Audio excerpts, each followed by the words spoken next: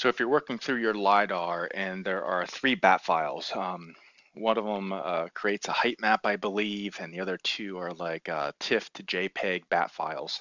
Um, they're the ones at the very beginning of the tutorial where you have to go in and you have to change, make sure your path is correct. Um, there's a couple things that can go wrong in those. One, first of all, one thing is they don't like spaces and folder names. Um, if your path is wrong, pointing to the executable for uh, QGIS, you might have some problems. But the problem is it doesn't give you much feedback on when things do go wrong. So let me show you. So here is a TIFF, the TIFF to JPEG. So I got my TIFFs in here. And so here's the TIFF to JPEG. And, and, and what I'm about to show you will work in any of the batch files that we do, okay? So let's say I run this and it's running fine. And you can see it's running fine because it gives you feedback in here. Um, great. So I'm just gonna stop this and uh, let me just clean this up quick.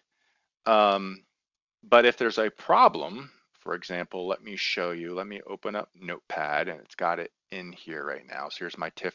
Let me just say that this is in the wrong directory. That could be one thing that's wrong, but there could be multiple things in here that, that are wrong, okay? So let me just make this wrong. And then uh, let me just do a file save. And then when I go run this, well, nothing happens, right? Well, actually what happens is in the background, you can't see it a command prompt window is opened up, but it errors out and then immediately closes. Well, we want to see what that error is. So this is how we do that.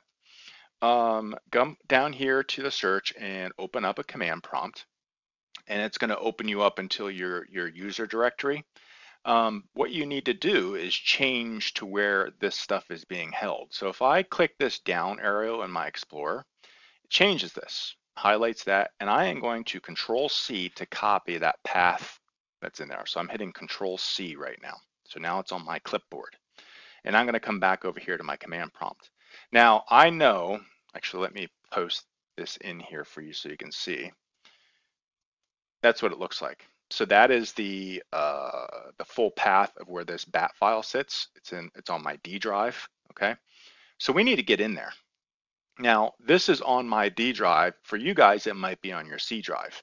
Um, if it's on your C drive, you can just do, well, um, let me show you. First of all, for me, since it's on my D drive, the first thing I need to do is switch to my D drive by hitting D colon, and now I'm on my D drive. If you're not, and you're just on your C drive, then the step that you can do is this, which is CD, which stands for change directory, space, and now I'm gonna right click and it's gonna put in there what's in my uh, clipboard, okay? Now I'm going to hit enter. And now you can see that I am in that directory on the command prompt where this TIFF to JPEG is. And I can look at this by typing DIR, which stands for directory, and it'll list everything in here, including you can see, I can verify that my TIFF to JPEG bat file is in there. Now I can run it and it's not gonna close this window. So if I just type in TIFF and I hit tab, it'll just fill it out automatically. I hit enter and it's gonna run. And now you can see that I see the errors, okay? So I'm seeing in here for blah, blah, blah, QGIS. Um, let's see, it's so it's erring out at the system cannot find the path specified. So what's that path? Well, here, okay? So if you just, if you don't, if this doesn't tell you what's wrong, you could at least post this to the Discord and someone else in there like myself or perhaps AT can take a look at this. But this is pretty clear that we've got the path wrong. So it'll give you at least some feedback and a direction on what you did. So just take a screenshot of this and post it in the Discord if you can't figure it out yourself, okay? Um, that's it.